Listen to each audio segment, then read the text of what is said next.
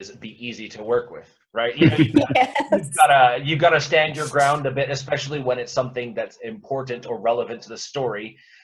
But if you're a diva or a prima donna, you're gonna find that editors just hate you, and your work never gets better for it. Yeah. Yeah, I, I think it's